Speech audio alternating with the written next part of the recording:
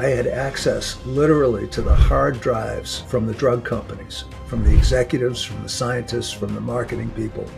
And I could do analyses with complete transparency to examine how the drug companies were manipulating research and covering up results and hiding results with the experts they hired to go out and sell their drugs. I would sign a confidentiality agreement first. So, unless the data were unsealed by the court, I can't talk about it. Okay, so right now you're speaking on things that you can legally speak on, but there's probably quite a bit that you just can't. Correct. Yeah, it's only a small fraction of what I know that I can speak about. It Oh, makes a man. good story. it's not the public can't handle it, it's that the media won't allow it out. And there should be independent oversight, and that independent oversight isn't there. So the drug companies can design studies of weight loss drugs or cholesterol lowering drugs or diabetes drugs that are designed to produce results that will sell the most drugs.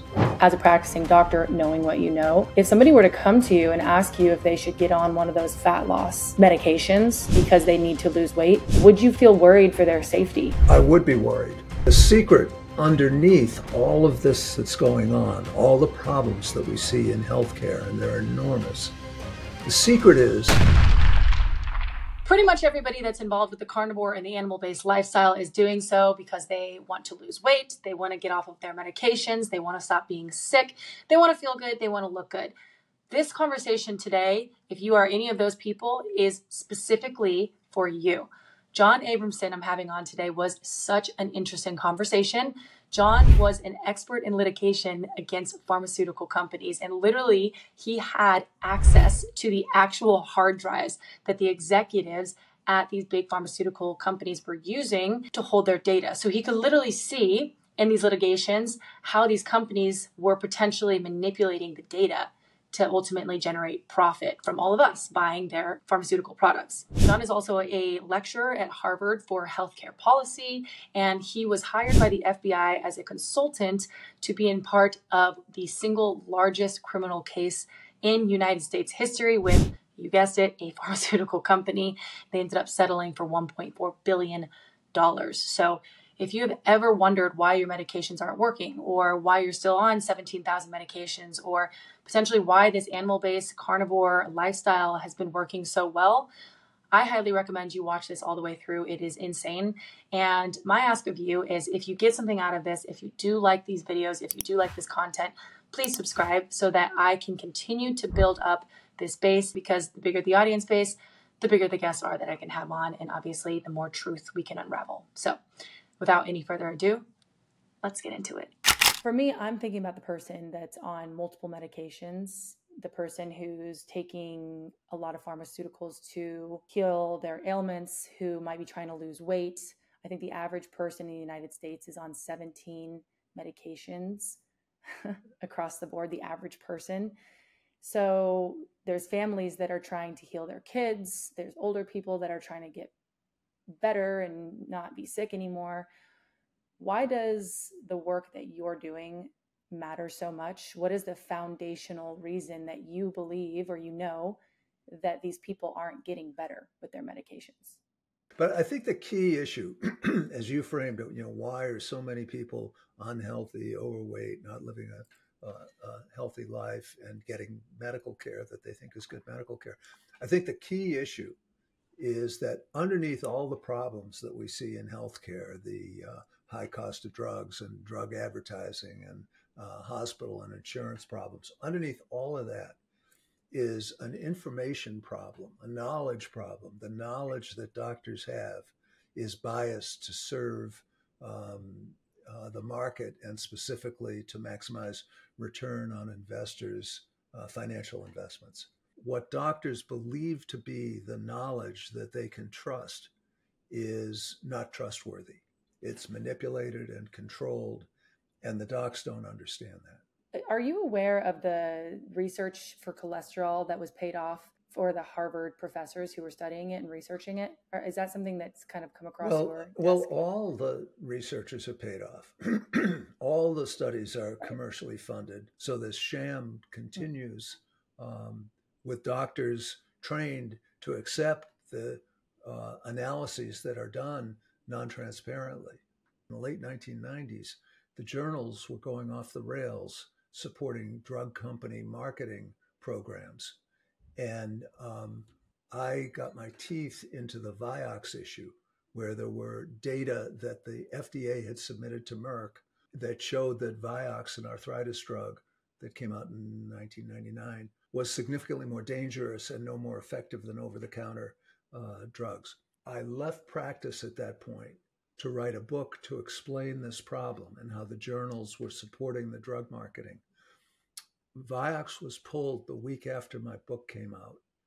Um, and I was on the Today Show twice and made maybe 80 national television appearances.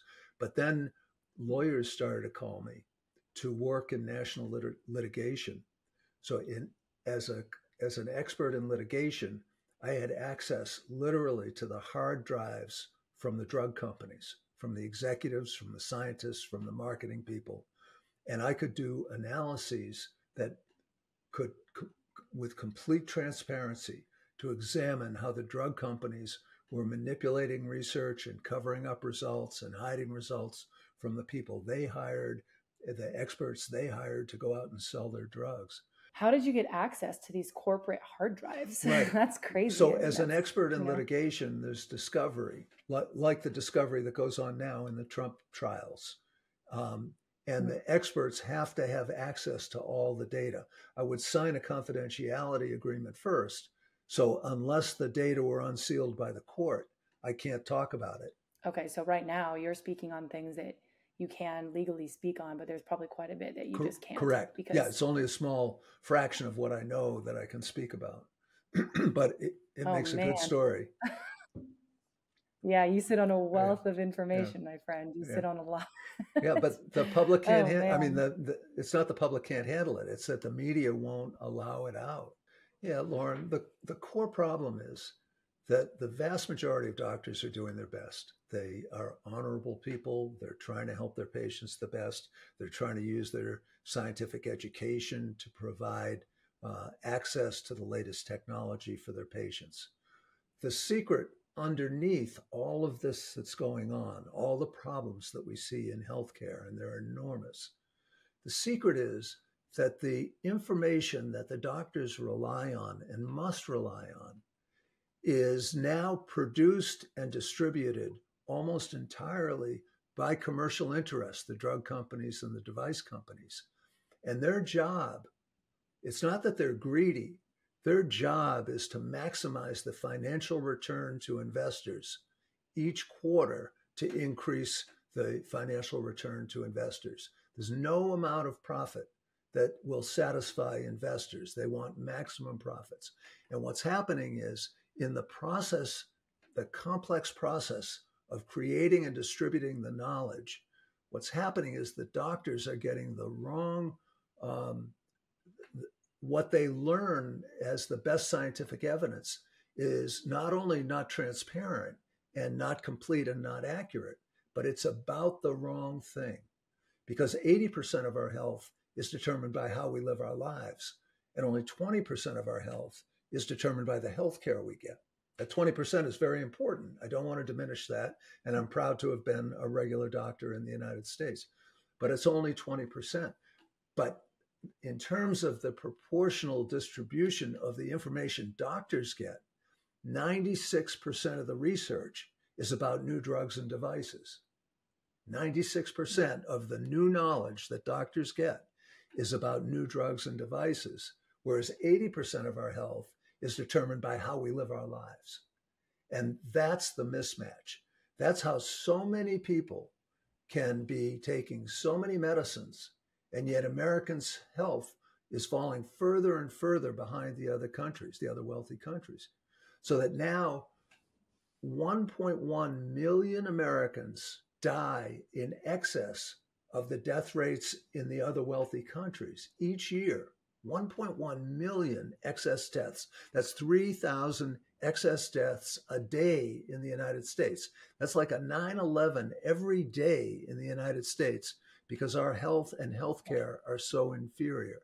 And at the core of that is that doctors are being taught to practice the wrong kind of medicine. They're not addressing what the real determinants of health are And it's not just that 3,000 Americans are dying in excess every day, but when you compare what we're paying as a nation for our healthcare to what other nations pay for their healthcare, we are spending an excess $2.3 trillion a year.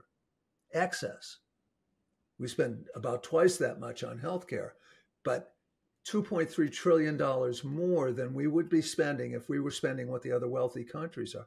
That's as much as the entire federal budget deficit. Dedicated doctors, honorable doctors, disciplined doctors are getting fed the wrong information about what is going to make Americans optimally healthy most effectively and efficiently. So let's talk about that part because I think that's huge, where the foundation of information for the doctors is incorrect this is the part that I think is the most important for anybody to understand. And this is the part that I was really surprised by when I was going into all this and, you know, listening to you on Joe Rogan and a bunch of different podcasts and then reading your books. It's like the foundation of information for doctors is peer reviewed studies, it Correct. seems, right? Uh, and you can break this down to me afterwards, like I'm six. No, no, you got I'm it. You're, on, that. you're on track. You know, the the foundation of information for doctors to understand what a what a potential solution might be for their uh, patients would be the peer reviewed studies. And so the assumption by doctors is that their peers have actually reviewed not just the metadata but also the individual data that comes from these studies that are done on in like clinical trials and, st- and so on and so forth. So the, the doctors are then taking that information and if it's checked off like it's good to go you know it's peer reviewed it's approved then they then feel um, comfortable recommending that or prescribing that to their client base as you know these are the these are the results this is what we are seeing in the data you're good taking this based off of all of the symptoms you have. But what you're saying actually is that that information is at its core controlled by the big pharmaceutical yes, companies? and the fundamental purpose of that information is to increase the profits of the drug and device companies. And it, it's there's two levels of it, Lauren. One is that the doctors are taught it's gospel. There's nothing that is more drummed into medical students and young doctors' heads than they must practice evidence based medicine. Yet the definition of evidence based medicine is what's published in peer reviewed medical journals and clinical practice guidelines. And the doctors don't understand that when articles are peer reviewed to assure their accuracy and completeness, that the peer reviewers don't get to see the data from the study. They just get to see the data summary that's in, in the manuscript that's submitted to the medical journal for publication, which is usually influenced by the manufacturer. So it's basically the right. manufacturer's version of the story. And that's published in the medical journals, and that's evidence based medicine. But the highest level of evidence, the most compelling and the most important evidence to follow, is in the clinical practice guidelines. And the docs don't understand that the experts who write those clinical practice guidelines often have financial ties to the drug companies. About half of the chairs and vice chairs of the panels that write those guidelines have financial ties to the drug companies. And most importantly, that the experts who write those clinical practice guidelines, they don't get the data either. They just put together the data from the articles that are published that are accepted as evidence-based medicine, but are uh, but haven't been checked for the for their truthfulness. So it's like a house of cards that's built on non-transparency. And the docs, yeah. when I talk to doctors about this, they say, yeah, we know the drug companies are involved, but we can sort it out. We had some statistics in medical school and some analysis of studies, and we can sort it out. And they don't understand. There's no way they can sort it out because they can't see it. The only way to sort it out is to get the data. And the only way to get the data is in litigation. They're not releasing the data. Right. The drug companies say right out front they own the data they own the data and the purpose of the data is to enhance their marketing and we're not giving you the data so so i'm going to kind of explain this how it should go right and then tell yep. me where i'm wrong because i really want I really want to understand this at its core. The way it should work is the potentially the company who's looking to get the research done on its product, let's say whatever the form, let's say a weight loss um, pill or shot, that company will help to design that study. But then also the study in theory should be you know there should be other people that have a non-biased interest also designing that research that study for people that are going to take that that, that shot let me let's stop there. What you said is perfectly rational and in a better functioning society that would be exactly what happens. We understand that the drug company is funding this study because they want to come out with positive results and they want to maximize sales of their drugs we understand that we're a capitalist society i don't have any better ideas than capitalism as a way to organize the economy of a society i'm not critical of that right. but we do know that there are excesses to profit seeking and there should be independent oversight. And that independent oversight isn't there. So the drug companies right. can design studies of weight loss drugs or cholesterol lowering drugs or diabetes drugs that are designed to produce results that will sell the most drugs. Mm. Okay, so so the way yeah, in a perfect world it should be working like that, non-biased parties designing these studies, but it's not working like that um, I believe when I was reading your book, it was saying that it used to be more like that. I think it now it's something far less that the involvement with these. Regardless, it used to be like that. No, now, Lauren, let me interrupt. More. You've got it. It used to be that the okay. academic medical centers, the um, universities, uh, medical centers, um, did um, 80% of the drug company's clinical research.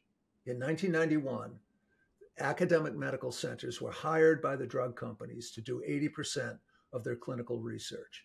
That meant the academics within those academic medical centers got to play a role in the designing of the studies and the collection of the data and the analysis of the data and writing it up for publication. So in 1991, 80% of studies were done by academic medical centers. That changed so quickly mm-hmm. in the next 13 years that by 2004, only 26% of the clinical studies funded by pharmaceutical companies were done in academic medical centers, and the rest were done by, by for profit research companies that the drug companies hired. And those companies had to please the drug companies, the research companies had to please the drug companies, or they wouldn't get contracts. And the academic medical centers had to compete with the standards that the contract research organizations were willing to work for with the drug companies. So uh, one of the deputy editor of the Journal of the American Medical Association said during this decline in the uh, amount of research that was being done in academic medical centers, he said it's a in in the academic medical centers, the clinical research is a race to the ethical bottom. And 50% of the contracts between the drug companies and the academic medical centers said that the drug companies the sponsors of the of the research have the right to write up the articles, write up the articles, and the authors of the articles can suggest revisions, not demand revisions. Uh-huh. they can suggest revisions. So that means that 50%, half of the half of the studies that are done in academic medical centers and paid for, for by drug companies can be ghostwritten that the the named authors, the respected academicians who are the named authors on the paper, don't have control of what's published in their own papers. The research that's being done. So to back this up, back to where like the I want to rehash this from the beginning. The the research as it's being designed, the surveys and the studies and all that are being designed majority by the big pharmaceutical companies that's kind of their interest is involved with that. Who's going to be a part of it, how old they are, what their issues might be already, what they're predisposed to have. All of that is selected by the pharmaceutical companies, right? let's keep going. The, Don't get off that subject yet. And the doses of the drugs okay. and the drugs that their new drug will be compared to and the whether or not lifestyle is included in the study design, all that's in the control of the drug company. Okay, so then all of that is in the control of the God, the drug company. So then the drug company Celexus Data, they they are the people. They then create the um, environment to have this study done, and then they are the only. You're telling me that they're the only people that can actually see the individual data before it's actually then packaged into what would be metadata, put in a manuscript, and then given to the peers for peer review. The pharmaceutical company is the only one that can have eyes on that individual Cor- data. Correct. Right. And now, and they parcel out the data the, the way they want to. The way you put it is that you had access to corporate computers for big pharmaceutical companies for 10 years. Yeah, more So than 10 years, actually. You've got more than 10 years. So you have the inside information onto exactly what's going on in these organizations that are producing the pharmaceuticals that majority of the world, but also the United States is consuming. So, you know, then you were called up by other lawyers to be an expert in what these companies were doing. So the amount of information that you have is enormous. I don't think you can even share majority of that on here because you're under an NDA, right? Uh, and let me just add, Lauren, it wasn't just that I had access to it, but that I had, I was part of a team with uh, intense skills, statisticians, epidemiologists, um, research design folks, so that I could look at the overview of the data as a family physician does primary care and looks at the overview of the patient. But then when I saw an issue that looked like it needed statistical expertise or epidemiological expertise, I could call in that expertise whenever I needed it. So I could, it wasn't just that I could analyze the data, but I could work as part of a team, be kind of the quarterback to hand off the different parts um, of vertical expertise that was needed to do a true analysis of the situation. What is your opinion on fat loss pills? Like Ozempic. And this, I recognize you're not a medical doctor. I'm not saying that Wait you're a minute, I am a medical doctor. right now. I just gave up my license now. well, yeah. you are a medical doctor, but are you practicing No, now? I guess. And just gave Right. up my license uh, two days ago on my birthday. Fair enough. Okay, well, all right, that's even better than You have two days ago. Okay, so what would be your take with all the information that you have for somebody who's trying to lose weight? Because one of the things I talk about here a lot is helping people to achieve their potential, whether that's looking the way they want to look, you know, feeling good, feeling the way they want to feel, ultimately not being buried underneath all of this stuff that dampens their potential and makes them feel sick and, and look bad. So a lot of people try these hacks, you know, Ozempic, and they try to lose all these weight. And it's not just Ozempic, there's others too. But given all the information you have, what's your thoughts there? We obviously live in a fatgenic society. 42% of Americans are obese now. Adult Americans are obese. Um, that's about twice as many as were obese in the early 80s. Did you say 42% are Obese. obese? Yes. Obese? Oh my Yeah. gosh. O- overweight In the United much higher. States? Yes, in the United States. Oh And my it's on the way up. It's going to be 50% in 10 years or so. Jeez. Um, our genes haven't changed in the last 40 years. So something about the way we live is generating that obesity. And it's not rocket science, it's processed food, it's the corn industry that got subsidies that and the corn syrup ends up in the soda and in the in the processed foods that when um, we do studies about helping people lose weight because the studies are funded by the drug companies, they'll do drug or no drug. There was a really important foundational study that was done in, uh, it was published in 2002 in the New England Journal of Medicine um, called the Diabetes Prevention Program. The study was funded by the National Institutes of Health. Um, drug companies provided some of the medications, but they didn't have control over the design of the study. And this study was designed the right way. They had a placebo group that got a little bit of counseling about weight loss. The, the population was people who were pre diabetic. And the, uh, the uh, main outcome measure was the percentage of people who went on to develop diabetes.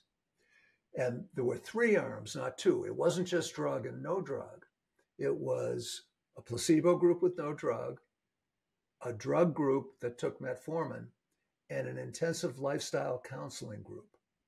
The people who were in the intensive lifestyle counseling group they didn't volunteer to be in that group, they were randomized to that group.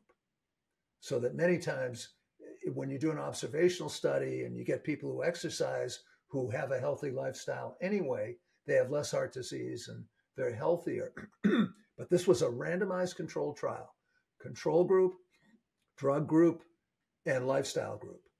And what this study showed is four years later, after setting up this study, the people who were in the lifestyle group had a 58% lower risk of developing diabetes than the control group. And the people who were in the drug group had a 31% lower risk of developing diabetes than the people in the control group. So what this study so I'm sorry? Double. So almost double. double. Yeah. But what this study showed definitively is that you can get people to change their way of life. You can get people to adopt healthy lifestyle and it's twice almost twice as effective as drug therapy in preventing diabetes. That was published in 2002. Our society is conditioned to believe that a pill is going to solve problems or a shot is going to solve these problems, that they're not solvable. When in reality, in my eyes, I actually believe that so much of the food that we eat and the sunshine and being around nature and having community and all of those other things is what actually helps people feel better. And that's not just not being obese, that's not being on antidepressants or anti anxiety, you know, being able to get pregnant, all these things that come up because our body is so stressed out or we're living in such unnatural environments to what we're used to. You know, and I, I guess what I would ask you too is as a practicing doctor, knowing what you know, and well, I guess you're not a practicing doctor anymore, but knowing what you know um, and just not practicing as of two days ago. If somebody were to come to you and ask you if they should get on one of those fat loss medications because they need to lose weight, would you feel worried for their safety on that, knowing what you know about big pharmaceutical? And I'm not isolating one, I'm just saying overall. I would be worried. It reminds me of the fen-phen disaster where people who were overweight were taking a combination of uh, two, two diet drugs and they were losing a lot of weight quickly. And it uh, ended up creating an enormous amount of heart disease, valvular heart disease. Mm-hmm. And Mother Nature didn't intend for us to maintain a normal weight by taking these drugs that affect the gut and the gut brain relationship. So um, maybe I'm being a little bit of a Christian scientist here, but I think that the natural way to go is going to be more effective and safer in the long run than these weight loss drugs. And actually, I think uh, that was going to be something I wanted to bring up too, and what you found. I wonder if this if these pills are designed to be needed for the rest of your life because that's where the profit comes in. It's like a subscription fee, yeah. you know, that you just yeah. Well, it's paying. a perfect situation for the drug companies that you need to keep taking them, or you lose your um, you lose your weight loss and your self image starts to turn negative yeah. and so forth. And uh, something I just saw uh, the last couple of days in the United States, the price for these weight loss drugs is four to eight times higher than in the other wealthy countries. So that there's, yeah. What? Yeah. Because they can, uh, correct me if I'm wrong, but advertise or uh, pharmaceutical companies, they pick the price that they want to sell the product for, right? They just arbitrarily Correct. select. In the United States, not in the other countries. We're the only country that lets the drug companies set their own prices. So they have a monopoly on their drugs that are patented. Ozempic has a patent um, and the, the manufacturer has a monopoly on that. So they can then spend a fortune in drug advertising to convince people that this is the solution to their weight problem.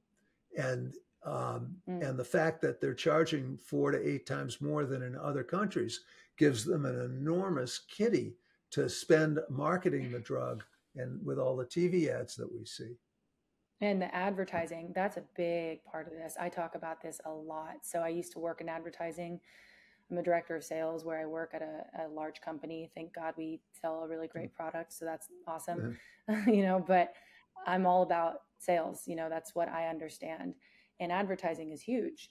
And what I often talk about with this carnivore lifestyle this animal based lifestyle um, is just more it's it's about really understanding that we need to eat real food and majority of what humans at least in the states are conditioned to eat is stuff that's processed yes. and it's because that's constantly what we're advertised all the time and it's we think it's normal correct. like having a bag of chips is correct is normal, that's the purpose right? of the really advertising not. is to make it appear right. normal to eat a bag totally. of fat and salt yeah and it's absolutely turning us around because then we think it's normal to go get a pill from your doctor to then fix your problems. Like all of that is super abnormal, but talking about it sounds super wooey, you know, air quotes. Um, and it's it sounds like a uh, some hippy dippy person. So it's it's like no, not at all. We're spending thousands of dollars on stuff that's making us sick and then thousands of dollars on stuff that's supposed to be correcting the sickness because because of the advertising that goes into this pharmaceutical um, system. So, talk to me about the advertising. I know it's different in the states and other countries. Right, and there's another dimension to this, Lauren. that's important. New Zealand is the only other developed country that allows direct to consumer advertising. Now, New. Zealand has a very effective national pharmaceutical program where they independently analyze the cost and the benefit of drugs and make recommendations nationally for coverage and pricing about drugs. In the United States, there's no equivalent program for drugs. We don't um, have any agency that measures the cost effectiveness of drugs, that compares, for example, the efficacy of Ozempic in uh, weight loss to intensive lifestyle counseling, which would cost far less money. So, so we've got a natural experiment here. New Zealand is advertising drugs, allows drug advertising. The United States allows drug advertising. New Zealand has a rational drug policy. The United States has a Wild West drug policy. And the results are right. that we spend by far the most per person on pharmaceuticals each year eh, among wealthy countries. And New Zealand spends the least amount. So it's not the advertising per se, it's the context in which the advertising takes place with no other uh, programs to inform doctors and payers about rational use of pharmaceuticals. So we've got this deadly combination of no price controls, no health technology assessment to inform doctors about which drugs are effective and which ones aren't. And then um, we uh, allow the drug companies to charge whatever they want. So we, it's like giving them a, a credit card for unlimited advertising budget because they're going to make it back when when the ads go on TV. Correct me if I'm wrong, but I think we're the only country outside of New Zealand, right, that does allow advertising for pharmaceuticals. Right. And we're the only country that doesn't okay. have a comprehensive uh, control program to control the use of pharmaceuticals. That's the that's the combination okay. that's so bad. Right. Yeah, and it's I mean advertising is people we like we like to think that we can protect ourselves from it and that it's, you know, if we're aware of it, it's not that big of a deal, yada yada. But it's not that simple if you're seeing something constantly all flipping time, you know, and it's presented to you in such a way that you know you're running in the forest or in the fields and it's and like there's, there's babies and dogs catching frisbees and yeah, babies, yeah. Uh, yeah they love yeah. each other and everybody's yeah. happy and you know you look great they, it's a picnic right. like this this whole if you see that every other commercial let's be honest if you watch tv anymore which i can't even hardly watch tv at all because of the ads but anywhere you look so many ads. And I think, what is it like? Most of the news channels are funded, some of their biggest funders are big pharma. Yes, and right? I think you'll notice that when um, when the news channels have a, a, pharmaceutical ad, a drug ad on either side of a segment, there are no pharma critics on that on that segment that's bounded by a drug ad, and it happens to be that all segments are bounded by a drug ad. You, you don't when oh. I when my first book came out in 2004, I was on TV all the time. I got I did maybe 80 national television interviews. I did one after this book was published, after Sickening was published. Interesting.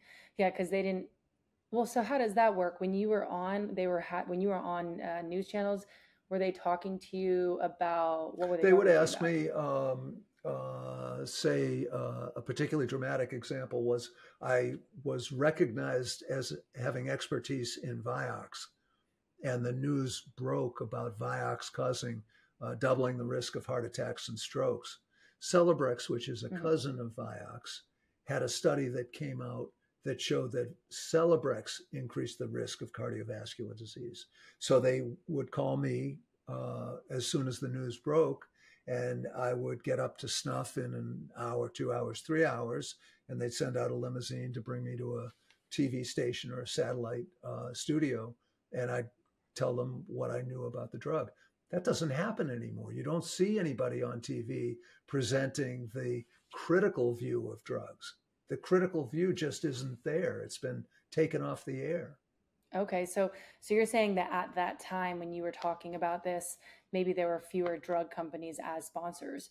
And they had um, captured. There were fewer drug ads. Uh, there were some drug ads, but there were fewer drug ads. But the drug ads hadn't captured the editorial content of the news programs. I see. Okay, so now it's like, to your point, they'll never invite you on again because the entire system is controlled by the pharmaceutical companies who are dictating the narrative around the pharmaceutical. And they're not going to have John Abramson come on and talk about how it's potentially causing it's faulty data and causing multiple hundreds of no, thousands. My phone's not ringing uh, off the hook yeah. right now. yeah, yeah, I can see that. I can see yeah. why. Um, okay, so and you used to travel. Uh, you did all different news. Yes. News places like ABC News, Nine News, Today Show. did you do those? I did the Today Show twice. Okay. And, yeah. And Fox okay. News was good to me. All the, all the stations called me. Wow, that's fascinating. And now you don't get any calls from them. Do you have an opinion about the carnivore or the animal based lifestyle if you know much about it? I don't know much about it. I've tuned out. I think I've heard you do other podcasts and uh, focus in on processed foods being the problem. And I agree completely with that. I think if there is a difference between a carnivore based diet and a plant based diet, it's probably much smaller than getting enough exercise and not eating processed foods and not smoking um, and not drinking in excess and maintaining a, a proper body weight. I think those things are far more important than the differences between the real foods that we eat, be they uh, animal based or plant based. To your point, I think that the processed foods, the removal of those, is one of the biggest factors. Um, I would encourage you to look into it only because um, it's really not about a diet. It's it's really not. It's it's more so that it's unfolding what's going on with cholesterol, how that's been demonized, um, and then how the how the food industry is captured by pharmaceuticals, but also processed food. I mean, farmers. If we most farmers out there, they farm corn and other things for processed food, and that's that makes up seventy five percent of the US diet mm-hmm. today is mm-hmm. processed mm-hmm. foods, ultra processed foods, not just processed foods, which is crazy. So, one of the benefits for people when they try this animal based or carnivore lifestyle is that they're finally satiated. They feel full. And so they eat a lot less and they don't have cravings anymore mm-hmm. for food.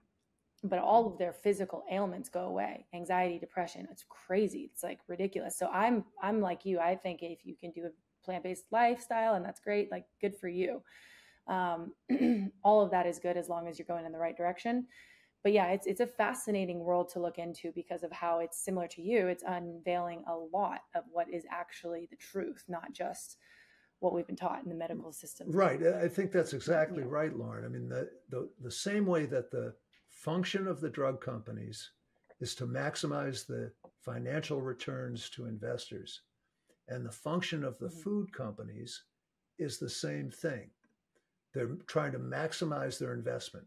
So they know, just like the drug companies know how to design studies that are likely to come out in their favor and maintain control of the data and so forth. Mm-hmm. The food companies know how to design foods that are appealing to the palate. Whether they're good mm-hmm. for you or not is not the issue. It's how much money they get from you to buy those foods. And we get the same. Yeah, the better yeah, it tastes. Yeah, we get better. the same problem that to maximize the food companies' profits, they go to the salt and um, fat based um, uh, processed foods. Mm-hmm. And in the drug companies, they go to the drugs that provide expensive solutions to many problems that are um, environmental. Now, we've all benefited from good drugs. I am not saying there are not good drugs out there, and I'm not saying there's not good medical care out there, but I am saying that the core purpose of both the food industry and the drug industry is to maximize their profits, not to maximize the health and well-being of the consumers. Briefly, can you touch on Vioxx and what happened with Vioxx or maybe statins in your experience with statins, specifically Trulicity as an example? Maybe we talk about Trulicity um, because it's a stat. It's uh, more uh, related no, to statins. No, Trulicity is not a statin. It's a diabetes drug. No, I know that, but I didn't mean to say statins. I meant to say insulin. Sorry. Um, it's more related yeah. to insulin. Why don't we talk about Trulicity and how that's related to insulin?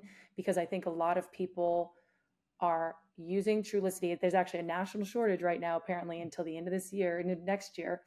That's how many people are using it. What have you found with well, Trulicity? Trulicity is a drug that lowers blood sugar. Um, it's expensive. It studies, or a study, I'm not sure how many studies have shown that it decreases the risk of cardiovascular disease in people with diabetes. but it does that. Uh, you have to treat many people with Trulicity in order to prevent one episode, one cardiovascular episode. And what happens is the same thing that we've been talking about, Lauren.